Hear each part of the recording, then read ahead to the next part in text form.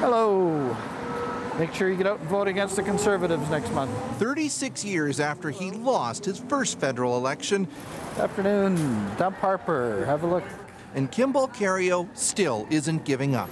Hi there, some information about the election. This will be my 12th consecutive federal election where I've been on the ballot. That would be every federal election since 1979. Make sure you vote next month. He's 0 for 12 at getting elected for Canada's Communist Party. I found my political home, and I've never lost that fire for trying to make this uh, uh, a place where poor people actually have have rights and dignity. Good afternoon. There's no limit on trying over and over again, and no financial penalty either, as candidates can get their $1,000 deposit back after the campaign. In federal politics, you know, you're dealing with protecting people's rights. Ontario's John Turmel takes the prize as Canada's biggest political loser, having failed to get elected a stunning 84 times. Over time, they can have some success. But this political scientist says fringe candidates, even by losing, can still win. We had the Marijuana Party, uh, which very fringe party, never got more than about 0.1% of the vote, often the butt of jokes.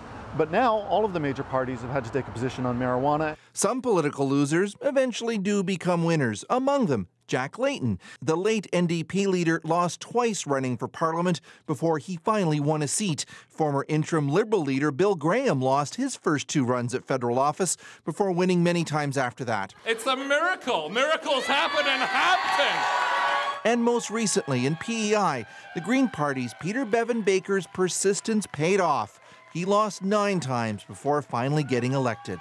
Terry Duguid, Liberal candidate. In Winnipeg, Liberal Terry Duguid is hoping it's fourth time lucky. I'm not a quitter, as uh, as you can as you can see. A little info on me. Where, he lost in Winnipeg South in 2004 in a squeaker, and that heartbreaking near miss has kept him coming back. When you're in that kind of position of authority as an elected representative, you you have a responsibility to your community, but you can really make a big difference.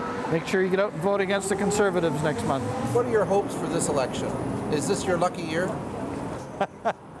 Probably not my lucky year. Afternoon, sir. Just by running and talking about his ideas, he says he's making his point.